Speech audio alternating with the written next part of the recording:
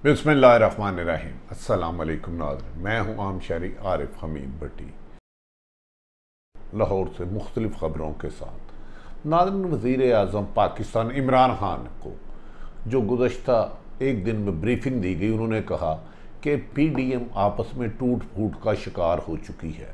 Peoples party और नून league सोतनों वाली लड़ाई लड़ रही है। अब लिहाजा वज़ी अजम जो करप्शन का मामला था, उसको नैप और मुख्तलिफ़ एफ़ आई दिगर अदारे देखेंगे।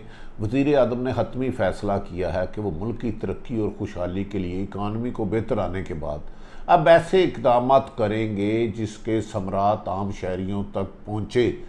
दूसरी तरफ़ मरीम नवाज़ साहबा के लिए एक अच्छी खबर नहीं है।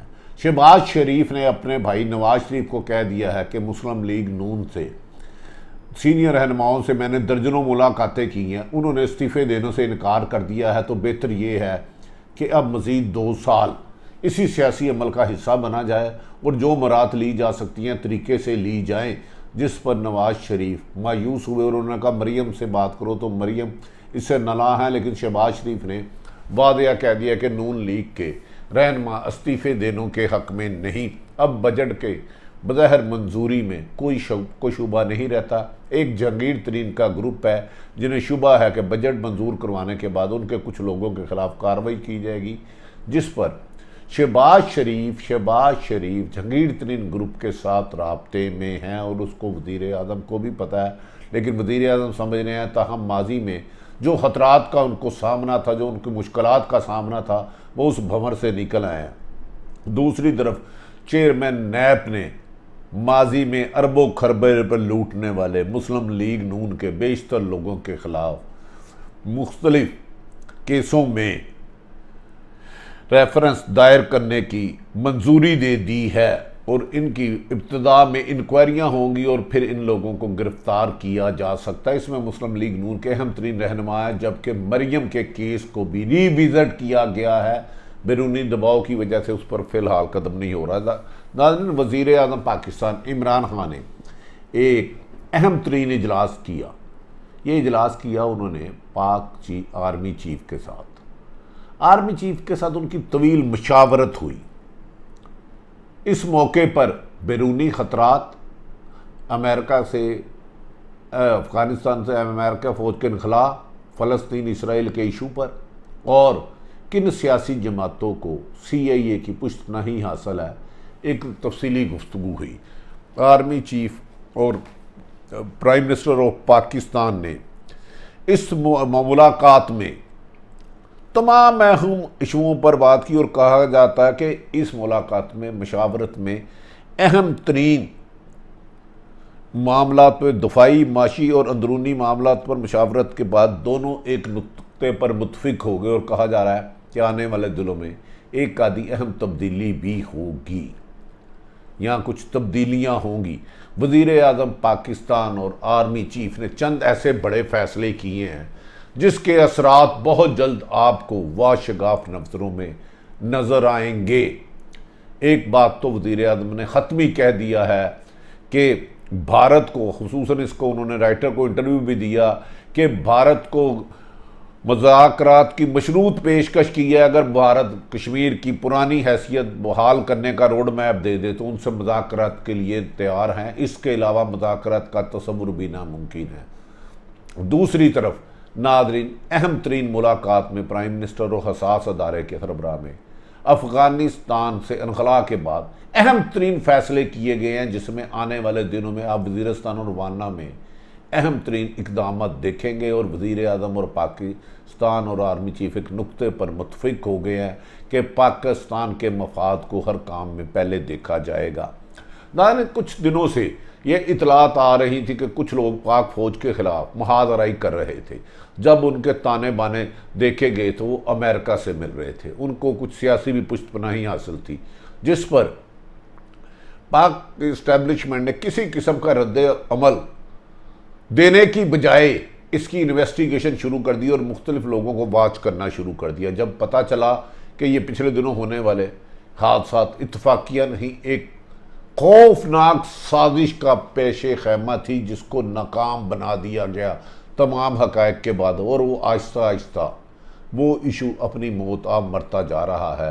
ताहम वज़ीर अजम पाकिस्तान ने यह हदायत ज़रूर की है कि सहाफ़ियों की तहफ़ को यकीनी बनाया जाए और जिन्होंने जिन्होंने साफ़ियों पर हमले किए इनको गिरफ़्तार किया जाए। और इसके बाद साथ ही उन्होंने कहा कि हमारे अदारों को बदनाम करने की साजिश को भी बेनकाब किया जाएगा और इनके साथी अनासर के ताने बाने भी पाकिस्तान में के बैरून मुल्क से मिल गए हैं, जिसके लिए बहुत जल्द कुछ लोग कानून की गिरफ्त में आ सकते हैं, जिन्होंने पाकिस्तान की इस्टेब्लिशमेंट को मौजूदा जो इंटरनेशनल बैरूनी दबाव में आकर अहम फैसले किए हैं, उनके इंकशाफात के बाद। नाजन वज़ीर अजम पाकिस्तान ने भारत को मशरूत पेशकश कर दी है कि वो भारत और कश्मीर की खुद मुख्तारी ख़त्म करके रेड लाइन पास की थी। भारत ने जो इकदाम किए हैं, वो गैर कानूनी और कौम मतदा की कारदत के ख़िलाफ़ है। उन्होंने कहा, मजाकरात की बहाली के लिए इन्हें हमारे पास आना होगा। अफ़गानिस्तान का मसला कई दहाइयों से था, लेकिन अब अफ़गानिस्तान के इशू पे भी पाकिस्तान ने अपनी हमत अमली अपना ली है और पाकिस्तान किसी किस्म की वहाँ भी हुकूमत आए, हर मुंतब हुकूमत से जो अफ़गानिस्तान में होगी, उससे ताउन करेंगे। नाजरीन, दूसरी तरफ़ कहा जा रहा है कि पीपल्स पार्टी और नून लीग की सौतनों वाली लड़ाई में हुकूमत वज़ीर अजम इमरान खान ने अहम फैसला कहा। कि ये माजी में बेनज़ीर से लेके आज तक दो दफ़ा एक दूसरों की पीपल्स पार्टी और नून लीग हुकूमतें गिरा चुकी हैं। लिहाजा इनके ऊपर वक्त ज़ाया ना किया जाए, उन्होंने अपने टीम के आला बुजरा और किचन कैबिनेट को कहा कि आप वो इकदाम करें जिससे आम शहरीों की बेहतरी और महँगाई और खसूस प्राइस कंट्रोल कमेटी को काबू किया जाए, लोगों को गुड गवर्नेंस दी जाए, पीपल्स पार्टी और नून लीग को भूल जाए। ये आपस की सोचनों की लड़ाई में जो एक तीन दहाइयों से चल रही है। ये पीडीएम ना कुछ करने के काबिल है, ना ये इस्तीफे देने के काबिल है, ना लॉन्ग मार्च करने के काबिल है। सिर्फ़ ये मीडिया पर बयान देने के काबिल आता है और इनको इनकी बातों को भी नज़रअंदाज किया जाए। वज़ीर अजम पाकिस्तान को ये भी ब्रीफिंग दी गई कि पीडीएम खुद हुकूमत को क्या ख़तरा होगी। खुद शहबाज शरीफ और मरीम नवाज़ एक पेज पे नहीं है। मरीम नवाज़ अपने चचा से सख्त नाला हैं और शहबाज शरीफ ने अपने भाई नवाज़ शरीफ को लंदन में पैगाम दिया है कि लिहाजा आप मेहरबानी करके हमारी पार्टी के लोग इस्तीफ़े नहीं देने जाते और इमरान खां की हुकूमत दिन ब दिन मुस्तकम होती जा रही है, जो हमने उन पर नाहली और नाहली का किया था। इकानमी भी बेहतर होती जा रही है, लिहाजा इसमें कुछ नहीं, दूसरी तरफ़ बिलावल भट्टो ने अहम हलकों को यकीन दहानी करा दिया कि वो हुकूमत के साथ असलाहत पे ताउन करेंगे हर हाल में। और मरियम नवाज़ को बिलावल भट्टो ने नज़रअंदाज करने की हदायत कर दी उन्होंने कहा कि मरियम नवाज़ एक पार्टी की वाइस प्रेसिडेंट है और उसको इतनी ही अहमियत दी जाए कि एक पार्टी में दस दस वाइस प्रेसिडेंट है और उससे बात करने से गुरेज किया जाए, ताहम बजट में आइंदा हमत अमली बनाने के लिए उन्होंने शबाज शरीफ के साथ रबता रखा है, जबकि ज़िम्मेदार जराए कह रहे हैं कि जंगीर तरीन ग्रुप के बगैर हकूमत आँखें बंद करके बजट पास कराने की पोजीशन में है और उनको इससे कोई रोक नहीं सकता। जबकि नून लीग जहनी तौर पर यह तस्लीम कर चुकी है कि इमरान खां की हुकूमत दो हज़ार तेईस तक रहेगी ये सारी सूरत हाल और इतलात मुझे आज तक है। अगर कल इसमें कोई पेशरफ रफ्त होती है, कौमी सियासत में हलचल होते हुए देर नहीं लगती, इतिहास बनते भी हैं, टूटते भी हैं। माजी के दुश्मन दोस्त बन जाते हैं, दोस्त दुश्मन बन जाते हैं। हुकूमत गिराने वाले हुकूमत के साथी बन जाते हैं और हुकूमत के साथी हुकूमत से बेवफाई करते रहते हैं। ये पाकिस्तान की सियासत में दिन रात पेशरफ होती रहती है। लेकिन कहा जा रहा है कि नून लीग के लिए बुरा वक्त शुरू होता जा रहा है, क्योंकि नून लीग ने अब अपनी सारी उम्मीदें जंगीर तरीन ग्रुप से बना ली हैं।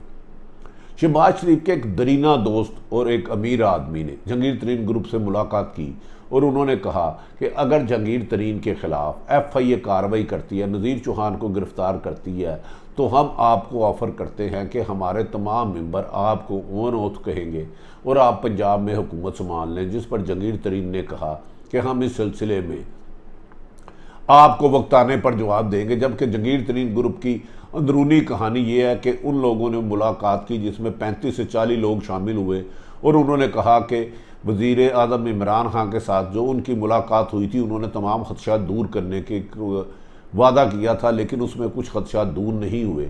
अपनी मुलाकात में उन्होंने प्राइम मिनिस्टर हाउस में बैठने वाले इमरान खान की तो तारीफ़ की, लेकिन दो लोगों पर सख्त तनकीद की कि ये जंगीर तरीन और इमरान खां की दोस्ती और होने वाली मुशावरत में रुकावटें खड़ी कर रहे हैं। अगर हकूमत ने, इनके खिलाफ पंजाब हुकूमत ने इंतकामी कार्रवाई की तो वो बजट बेशक पास कराएँगे, अगर जंगीर तरीन ने कहा। लेकिन बजट के बाद भी वो अपने पत्ते कुछ खुफिया रखे हुए हैं, जिसको वो शो करेंगे।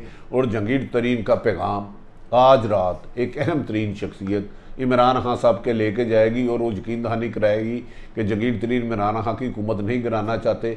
लेकिन उनके दो आदमी जो उनके बहुत करीब हैं, वो उनके केस को ख़राब करने की कोशिश कर रहे हैं।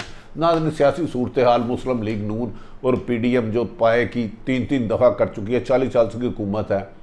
पहली दफ़ा आने वाले शख्स इमरान खान की हुकूमत को नाकाम करने में खुद नाकाम हो गए हैं और अब जहनी तौर पर तस्लीम कर चुके हैं कि इमरान की हुकूमत को दो हज़ार तेईस तक कोई ख़तरा नहीं, माँ सवाए के जंगीर तरीन ग्रुप उनसे अलग हो जाए। तो इनकी सियासी जो अपने आप को मंजे हुए खिलाड़ी कहते थे, एक नाकामी और शिकस्त तस्लीम करना ही इमरान खान की कामयाबी है। दूसरी तरफ़ वज़ी अजम पाकिस्तान ने कहा कि एहतसाब के अमल को शफाफ और तेज़ किया जाएगा। इसके लिए उन्होंने वजारत कानून को कहा है कि नैब की अदालतें मज़ीद बनाई जाए ताकि मुलमान को सज़ा मिले। दूसरी तरफ़ chairman NAB justice retired Javed Iqbal ने अहम इजलास नैब की सदारत करते हुए दस इंक्वायरियों की मंजूरी दी है। इनमें मेगा करप्शन केसेस में पेशरफ का भी जायजा लिया गया। नून लीग के रहनमा ख्वाजा साद रफीक, जो इस वक्त लंदन में हैं, चौधरी शेर अली शेर अली की इंक्वायरी मंजूरी दिया जबकि सबक D G anti corruption Muzaffar Ali Raja सबक D C O Faisalabad, Noorul Mengan, जो इस वक्त किसी अदारे में सेक्टियों के खिलाफ इंक्वायरी की मंजूरी दी है।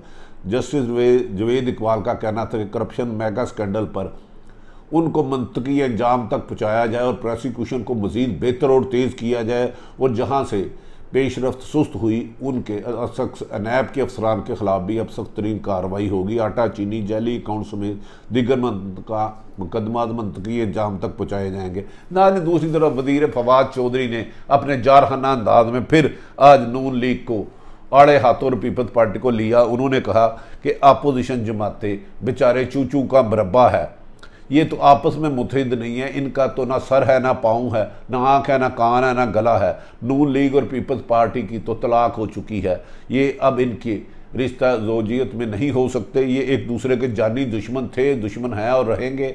अपने आप को नैब से बचाने के लिए आए थे, लेकिन खुद ही बिखर गए। इस मौके पर चौधरी, फवाद चौधरी ने सख्त तनकीद की मुस्लिम लीग नून पर और कहा कि मुस्लिम लीग नून शहबाज शरीफ पहले हमारी हुकूमत मरीम गिराने की बजाय अपने चचा के साथ ताल्लुक बेहतर कर ले, जो अपने चचा के लिए सियासी तौर पर नुकसान का बायस बन रही है, वो पीटीआई जैसी मज़बूत हुकूमत को क्या गिराएगी, जिसका सरबरा इमरान खां है, जो किसी भी बैरूनी और अंदरूनी दबाव को का खातर में नहीं लाता और रिजेक्ट कर देता है। उन्होंने ये चौधरी, फवाद चौधरी का ये भी कहना था कि शहबाज शरीफ अपना तर्जमान मुकर करें और अपने आप को मरीम से अलग करें, वरना वो उसकी सियासत को भी नुकसान देगी, जबकि मौलाना फजलरहमान के साथ उन्होंने एक मशवरा दिया कि मौलाना साहब की उम्र अब सियासत की नहीं, वो कोई मस्जिद में अल्लाह अल्लाह करे या ना का बढ़ाने का फ़राइज़ करें। लगता है पी टी आई की हुकूमत को यकीन हो गया है कि पी डी एम अब उनकी हुकूमत गिराने की बजाय पीडीएम का खुद कायम रहना भी नामुमकिन हो गया है और अब उन्हें चाहिए कि लेकिन इस हालात को बेहतर समझने की बजाय अवाम की खिदमत में अपने आप को मरकूज करें। वज़ी अजम ने एक ही हुक्म दिया है, अब मेरी काबीना में वो वज़ीर, मशीर और M P M N A नहीं रहेगा जो किसी भी डायरेक्ट इंडायरेक्ट करप्शन का हिस्सा होगा और आवाम की खिदमत नहीं करेगा। नाजन मौजूदा सियासी सूरत हाल मैंने आपको आगाह कर दी। कहा जा रहा है कि एक सियासी जमात इस वक्त बैरूनी अहम एजेंसी के रबते में है और पाकिस्तान के खिलाफ करना चाहते हैं, लेकिन पाकिस्तान की एजेंसियाँ उससे बाखबर हैं। आरिफ हमीद भट्टी का यूट्यूब चैनल पसंद आए तो इसे सब्सक्राइब करें, अपने इर्द गिर्द को ख्याल रखें। पाकिस्तान जिंदाबाद।